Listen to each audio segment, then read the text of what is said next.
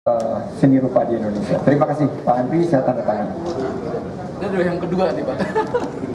yang isi pertama sudah.